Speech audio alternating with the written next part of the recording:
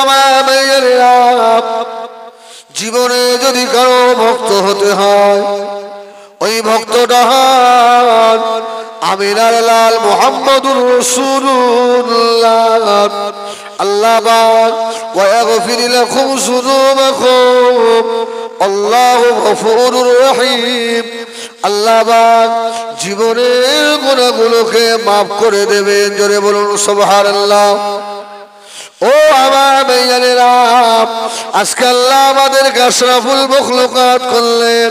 লাকাদ খালাকনাল ইনসানা ফি আহসানি তাকবীম আল্লাহ আমাদেরকে সুন্দর করে বানিয়েছে, শ্রেষ্ঠ করে বানিয়েছে। ও আমার সোনা মালিকেরা ওই নবীর ভক্ত আমি আপনি কতটা? আল্লাহ নবীর ভক্ত যারা হয়েছিল বাবা, আমার নবী আমার চাচা আবু তালেবের বাড়িতে রয়েছেন। আর আবু তালেবের বাড়ি থেকে আল্লাহ নবী খাদিজার বাড়িতে চাকরি নিয়েছেন। এই, খাদিজা, এক জিজ্ঞেস করছে, আবু তালেব, এই কি সেই আলামিন? এই কি সেই ছেলেটা যেটা সত্যবাদী ন্যায় পরায়ণ ভালো ছেলে?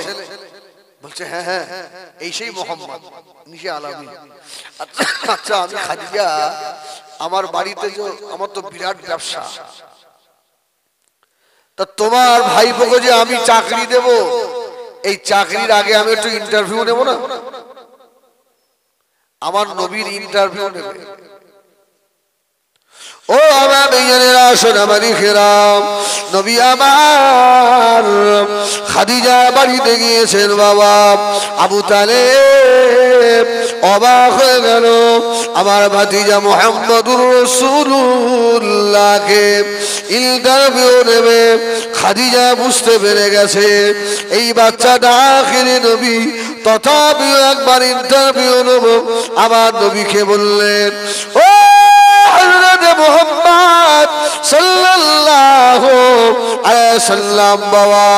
আমি আমার ওই ছাগলের কোয়াল আছে, ওই ছাগলের কোয়ালের ভিতরে যাও, কতগুলো ছাগল আছে, তুমি এসে গুনে গুনে আমাকে বলবে, আল্লাহর নবীর ইন্টারভিউ নিচ্ছেন। খাদিজা রসুল একবার আবু তালেবের মুখের দিকে তাকাচ্ছেন। আবু তালেব বলছে, খাদিজা, আমার এই ভাতিজা ইন্টারভিউতে জীবনে ফেল করবে না। জোরে বলুন সোহান আরে, ও তো ছোট্ট থেকে আমার কাছে। ছেলেটাকে তো আমি চিনি। ও ইন্টারভিউতে পাশ করে যাবে। খাদিজা বলছে, যাও, তাড়াতাড়ি দেখে এসে আমাকে বলো।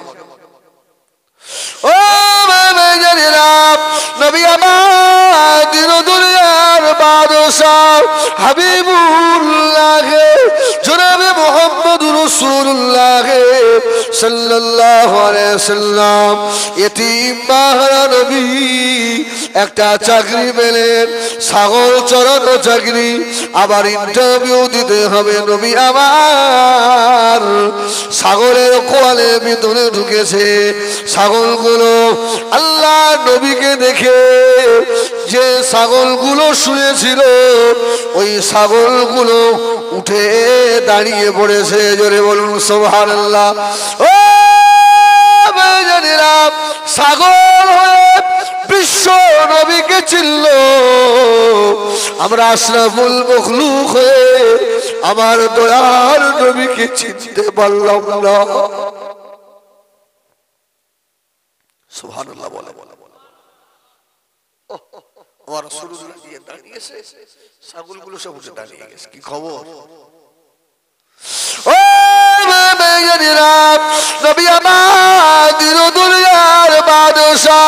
দাঁড়িয়ে ছাগলগুলো ঘুমছে একটা ছাগল ছুটে এলো, ইয়া রাসূলুল্লাহ, ইয়া হাবিবাল্লাহ, হুজুর, আপনার গুনাহ লাগবে না, আপনাকে গুলতে হবে না। আমরা কতজন আছি? আমি আপনাকে জানিয়ে দিচ্ছি, খাদিজাকে গিয়ে বলুন, ইয়া রাসূলুল্লাহ, আপনি খাদিজাকে গিয়ে শুনিয়ে দেন। এই কোয়ালের ভিতরে আমরা এক হাজার ছাগল রয়েছি, জোরে বলুন। আর একটু জোরে বলুন সোহান আল্লাহ ক হাজার। ও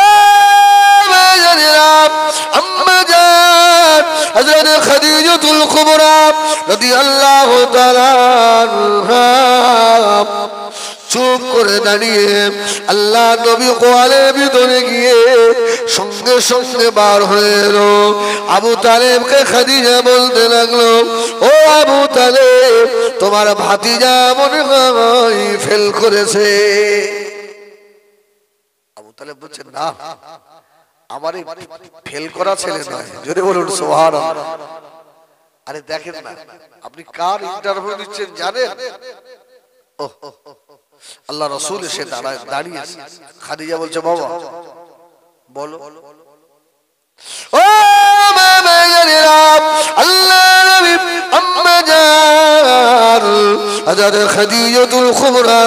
দিকে তাকিয়ে বললেন এক ছাগল আছে। খাদিজা অবাক হয়ে গেল। ও আবু তালেব হযরত মুহাম্মদ, এত সঠিক খবর কি করে বলল? আর এত তাড়াতাড়ি এক হাজার সাগর কুল্লই বা কি করে? জোরে বলুন, সুবহানাল্লাহ। কি করে আমার রসুলকে আবতারে বলছে, বাবা, মোহাম্মদ, একটু বলে দাও, বাবা। বলবেন না সোহার একটু বলে দাও।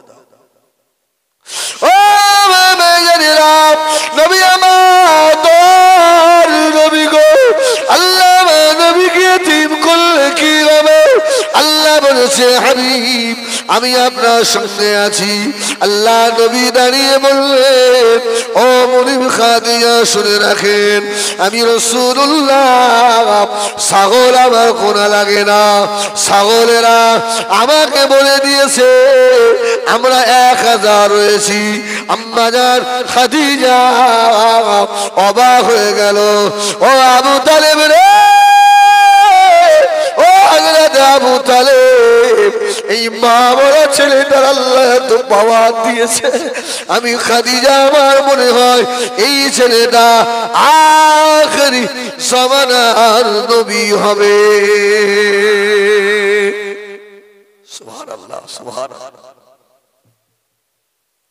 চাকরি হয়ে চাকরি হয়ে গেল।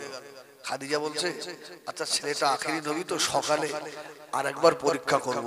জোরে বলুন সোহার আল্লাহ আবার কি পরীক্ষা? একবার তো ইন্টারভিউ রসুলের হয়ে গেছে আবার। আচ্ছা যারা ছাগল চড়ায় ভাই, ছাগলকে এই বললি ছাগল শোনে? যত চঞ্চল প্রাণী আছে তার মধ্যে ছাগল একটা। ঠিক কিনা ভুলে বলে? আল্লাহ একবার তো খাদিজা বলে দিল, মোহাম্মদ, এই ছাগলগুলো তোমার। তুমি চড়াবে নিয়ে যাও।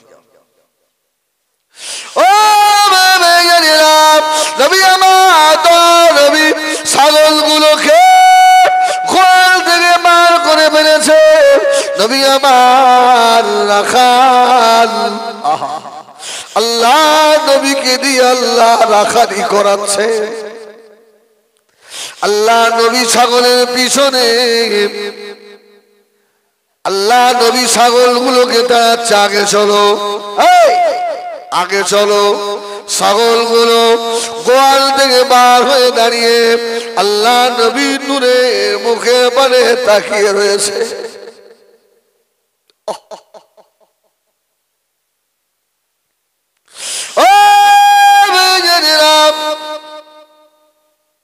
ছাগলগুলো নবীর মুখে বারে তাকিয়ে ছাগলেরা বলেছিল, মোহাম্মদ, ও আখেরি জামানার নবী গো বেয়া তুমি ক্ষমা করুন বেয়া তুমি মাফ করুন।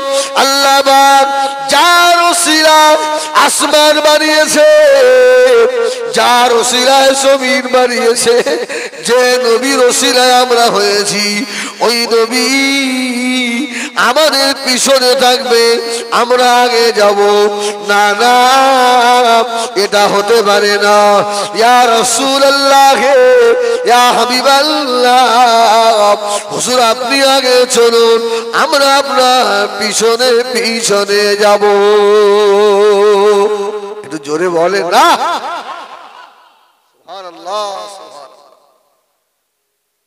খাদিজা সব দেখছে? এই খাদিজা সব দেখছে।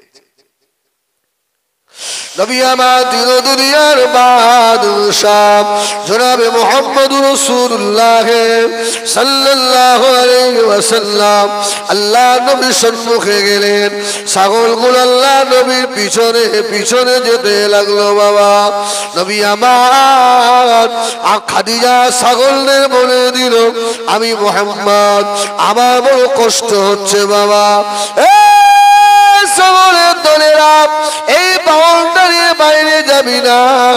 আমি মোহাম্মদ একটু আরাম করব, নবী আমার। সাগরের দড়িগুলোকে বালিশ করে নিয়ে আর শিশু নবী মাহারা নবী দিয়ে আপনার ক্ষেতের আলের উপরে।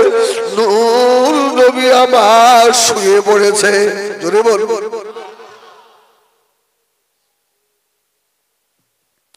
খাদিজা সব দেখছে বাবা। আম্মা খাদিজাতুল কুবরা খেয়াল করে দেখে। আল্লাহ নবী শুয়ে আছেন আল্লাহ নবী নূরের শরীরের ওপরে বদনের ওপরে।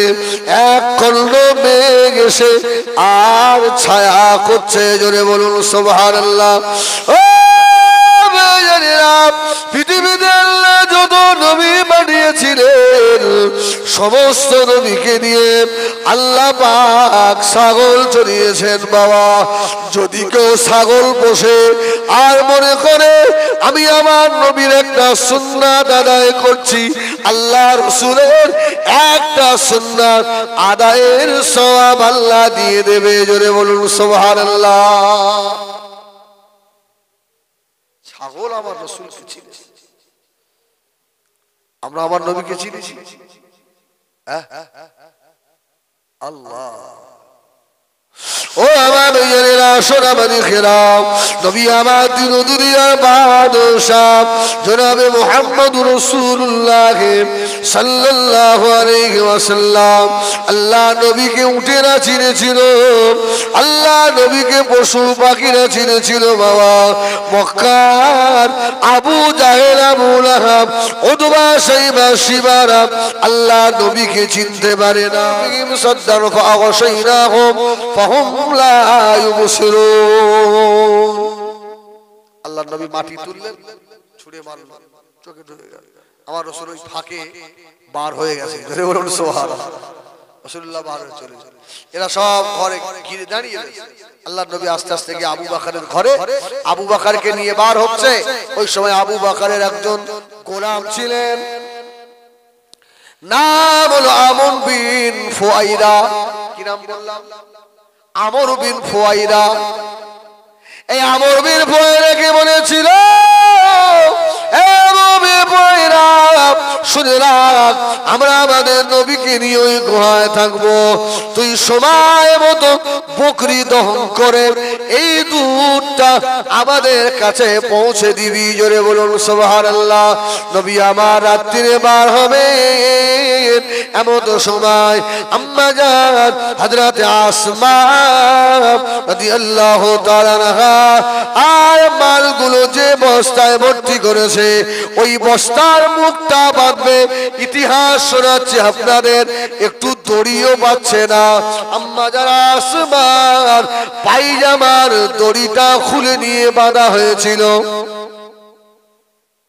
এই জন্য আসমার আর একটা লাকাব হলো পাইজামা দড়ি খুলে বাঁধা। রসুল্লাহ বার হয়ে যাচ্ছেন।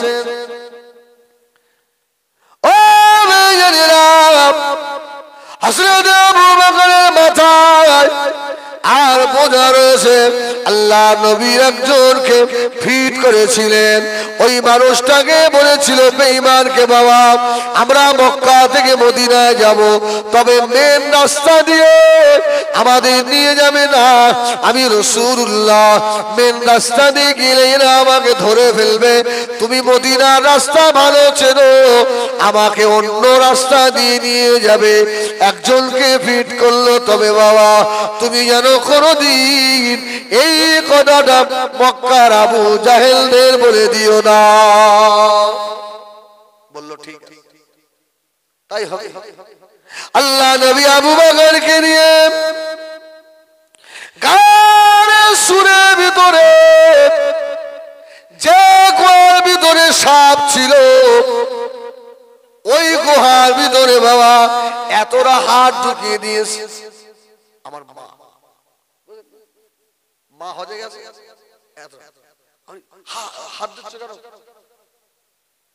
মা, আমার আমার ভাই ছিল সঙ্গে, তার সঙ্গে বলে মানে আর আমার এই গর্ত থেকে সাপ বার হয়ে কামড়ে এই গর্তের মধ্যে কি আছে জোরে বলুন, সুবহানাল্লাহ।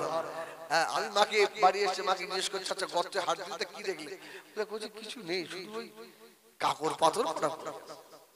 আল্লাহ একবার আবু বাকার গুহার ভিতরে এরা সকাল হয়ে গেছে আল্লাহ একবার আমার নবী বললেন নবীকে আবু বাকার বললেন ইয়া রাসূলুল্লাহ আপনি দাঁড়ান। একটু দাঁড়ান আমি একটু গুহাটা সাফ করে আসি। আর ওই গুহার ভিতরে মুসা নবীর জামানার ওই সাপটা ছিল। জোরে বলুন সুবহানাল্লাহ। মুসা নবীর কেন? এই তৌরাত কেতাবে আহমাদ নাম ছিল। আর এই আহমাদ নামগুলো দেখতো আর আপনার কেটে কেটে বাদ দিত। আল্লাহ অসন্তুষ্ট হয়ে তাকে সাফ করে দিয়েছিলেন। হ্যাঁ? ও সাপ হয়ে এসে মুসা নবীর কাছে ক্ষমা চাইছে, আমাকে ক্ষমা করে দেন। মুসা নবী বলল, যার নাম তুমি কেটে বাদ দিয়েছ, সে মোহাম্মদ সাল্লামের কাছে ক্ষমা চাইতে হবে। জোরে বলুন সুবহানাল্লাহ। আমার কাছে ক্ষমা চাইলে হবে না? মুসা নবী বলল তোমার জন্য দোয়া করছি। আল্লাহ তোমার হায়াত বাড়িয়ে দিক। তুমি চলে যাও মক্কা শরীফে। গারে সুরে নবী মক্কা থেকে মদিনায় হিজরত করার সময় ওই সুর পর্বতে আসবেন আর যেদিনে দেখবে ওই গর্তটা আলো আলোকিত হয়ে গেছে ওই দিনে মনে করবে মোহাম্মদ রসুল্লাহ এসে হাজির হয়েছে। জোরে বলুন নবী নবী আমার দিল দুনিয়ার বাদশাহ, আল্লাহ নবী আবু বকর গুহাটা পরিষ্কার করলেন। আল্লাহ নবী বললেন আবু বকর, আল্লাহ নবীকে বললেন, ইয়া হাবিবাল্লাহ, হুজুর, আপনার এই রাস্তা হেঁটে বড় কষ্ট হয়েছে। হযরত আবু বকর সিদ্দিক বলেন, আল্লাহ নবী যখন আমি আবু বাকারের বাড়ি থেকে এই গানের সুর পর্যন্ত আসছিল, আবু বাকার একবার আল্লাহ নবীর সম্মুখে একবার একবার একবার পিছনে। আল্লাহ নবী আবু বাকারকে বাবাজি আবু বাকার, এইভাবে কেন ডাইনে পিছনে করছ? হাজরাতে আবু বাকর, আল্লাহ নবীর মুখে দিকে তাকিয়ে বলেছিল আমার ভয় হয়। কুফারে করেছেরা কোন জায়গায় লুকিয়ে আছে জানি না। আমার নবীকে যদি মারে আমি আমি আবু বাকার, আমার নবীর ঢাল হয়ে থাকছি। জোরে বলুন, সুবহানাল্লাহ। এই জন্য একবার সামনে, একবার ডাইনে, একবার পিছনে। আরে রাসূলুল্লাহ আবু বকরের জানুর উপরে মাথা দিয়ে শুয়ে পড়েছে। আবু বকর পাগড়ি ছিঁড়ে ছিঁড়ে সব গর্তগুলো ভর্তি একটা গর্তই পায়নি, পা ঢুকিয়ে দিয়েছে। আল্লাহর ইশারা, ওই গর্তে সেই সাপ ছিল। হ্যাঁ? আরে সাপ তো আখেরি নবীকে দেখবে, পাগল হয়ে যাচ্ছে। আর আবু বকর তো মুখ আটকে ফেলেছে। হ্যাঁ? আল্লাহ সাপ কামড়ে দিয়েছে। আবু বাকারের শরীরটা সবুজ কিন্তু আবু বাকার এত কষ্ট পাচ্ছেন, তাও আমার নবীকে ডাকছেন না। ধরে বলুন সোহার আমার নবীর ঘুমের ডিস্টার্ব হবে, আমার নবী কষ্ট পাবে, আমি আবু বাকার জবাব দিতে পারব।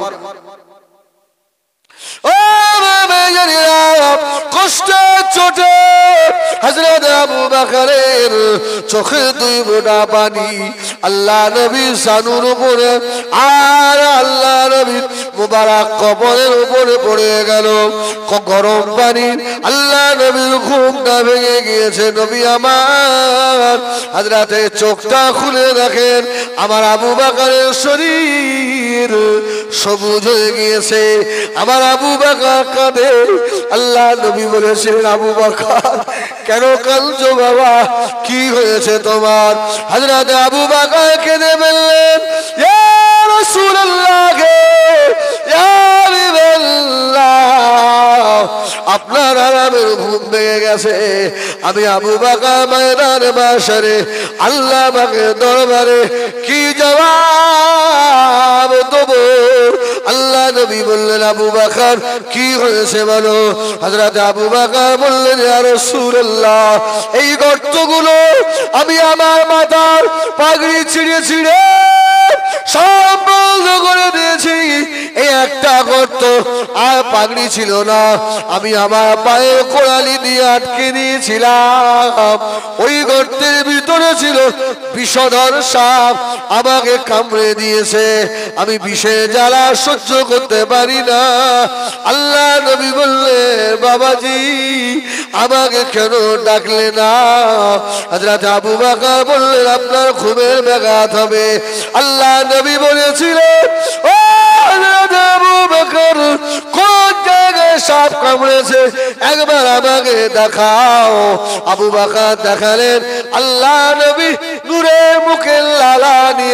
একটু লাগিয়ে দিলেন। সঙ্গে সঙ্গে বিষ পানি হয়ে গেল। জোরে বলুন সোভার আল্লাহ আবার মতো সবাই গোয়ার ভিতর থেকে সাপ বার হয়ে পড়েছে। আল্লাহ নবী বলল সাপ আমার আবু বাকারকে কষ্ট দিলি কেন? সাপের আল্লাহ সবাই খুলে দিলেন আমি মুসা নবীর জমানায় বেয়াদবি করেছিলাম। এই এত হাজার বছর আখরি নবীর অপেক্ষায় এই গুহার ভিতরে বসে আছি। আমি সাপ মানুষ ছিলাম, সাব হয়ে গেছি। আমি জাহান্নামি হয়ে যাব। যদি আপনি আমাকে ক্ষমা না করেন, আর আবু বাকার ওই নবীকে দেখতে দেবে না। গুহাটা বন্ধ করে রেখেছে। আমার ইচ্ছা ছিল না আবু কামড়াবো, কিন্তু আমি আপনার প্রেমে, মহাব্বতে পড়ে কামড়ে দিয়েছি। জোরে বলে না। ও আল্লাহ নবী ক্ষমা করে দিলেন। যাও, সব আমি তোমাকে ক্ষমা করে দিলাম। আল্লাহ ওকে মানুষ করে দিলেন। ও আবার কিছুদিন পরে মারা গেল। আল্লাহ নবী যে ঘর থেকে বার হয়ে এসেছে, ভোর হয়ে গেছে। এবারে গিয়ে ঘরে চাদর টেনে দেখে মোহাম্মদ আলাইহি সাল্লাম নয়। হযরতে আলী শুয়ে আছে। হযরতে আলীকে হাত ধরে টেনে তুলে আর টানতে টানতে কাবা শরীফের কাছে নিয়ে গিয়ে হযরত আলীকে মার। এত মার মেরেছে বল মোহাম্মদ কোথায়? হযরত আলী বললেন, মেরে যদি মেরেও ফেলে দাও, আমি আমার দয়ার নবীর ঠিকানা বলে দিতে পারব না।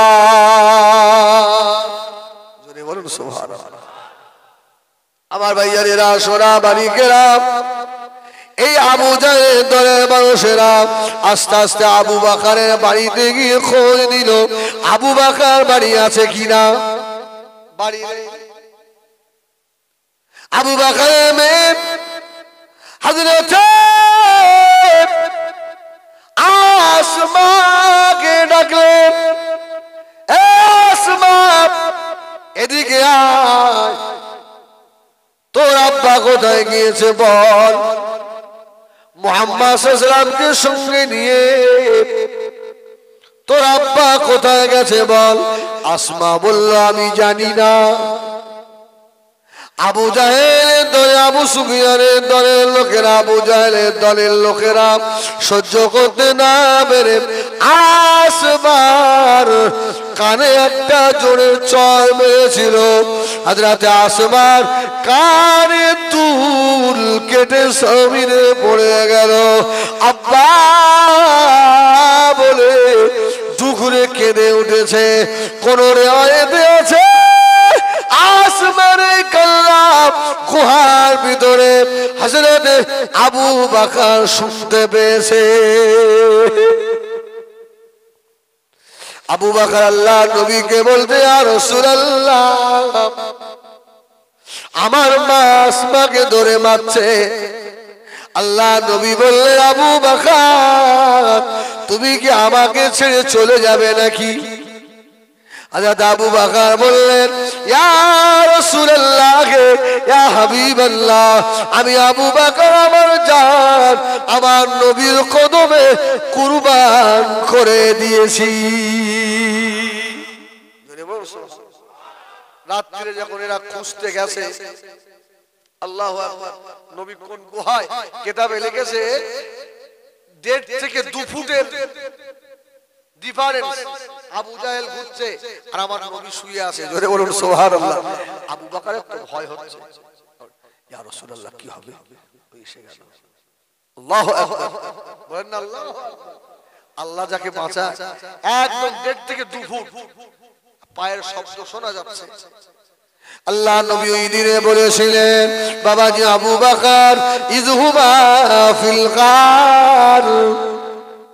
إذ يقول لصاحبه لا تحزن إن الله معنا.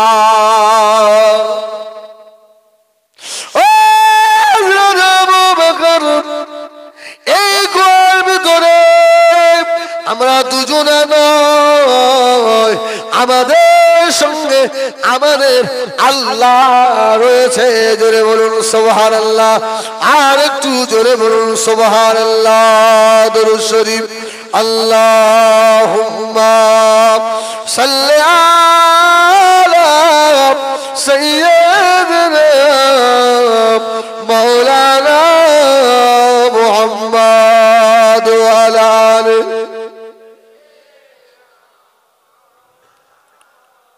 সকলে আসেন সালাম।